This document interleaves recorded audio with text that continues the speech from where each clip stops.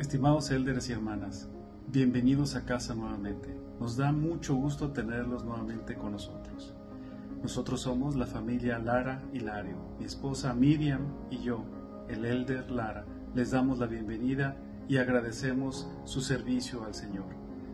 De regreso a casa, en su maleta traen muchos regalos, entre ellos el amor por el Salvador. También aprendieron a amar a las personas a quienes sirvieron, así como el amor por el trabajo arduo.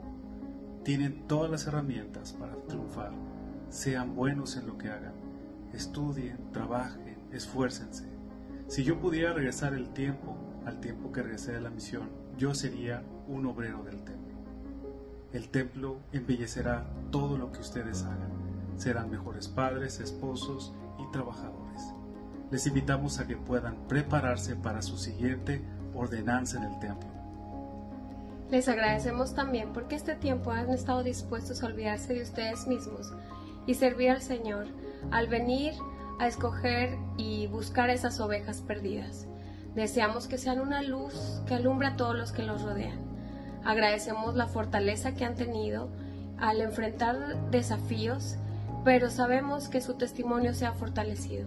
Deseamos que ustedes sepan que siempre tendrán un compañero constante, a lo mejor no físicamente, pero siempre tendrán la compañía del Espíritu Santo. Una vez que terminen la misión, Él será su compañero, el cual los va a guiar y los va a ayudar a tomar decisiones correctas si ustedes se siguen esforzando. Sabemos que son el ejército del Señor más preciado, que aún en sus peores batallas, el Señor siempre los llevará de la mano. Deseamos que en en sus rostros sigan reflejando el semblante de Cristo. Les amamos.